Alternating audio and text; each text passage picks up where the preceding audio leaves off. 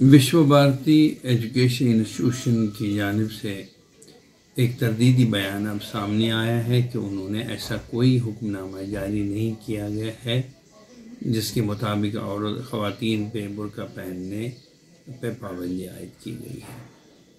देखिए, जहाँ तक इस इंस्टीट्यूशन का सवाल है, ये खालिसता ख़वान के लिए महदूद था। अब चूँकि वहाँ पे को एजुकेशन